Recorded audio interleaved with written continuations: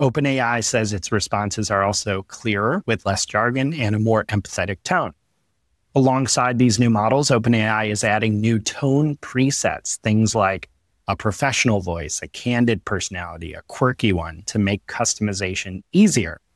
The GPT 5.1 update is rolling out now, starting with paid users, and will be available in the API as well.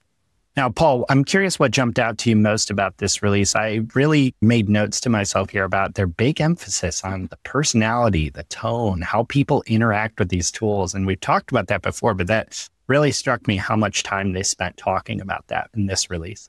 That definitely jumped out. The timing, as I mentioned in the open, jumped out to me. It was just an unusual timing. I don't I'm trying to think if they've done a point one before. Like usually there's like a yeah, point five, right? Like point like, five, yeah. Yeah, three to three point five.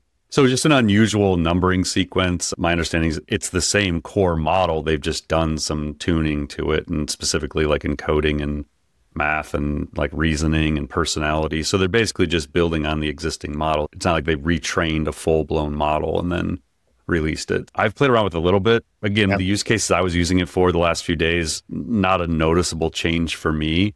I did note that GPT-5 Pro, which I know you and I both pay for the upgraded license, we have access to Pro.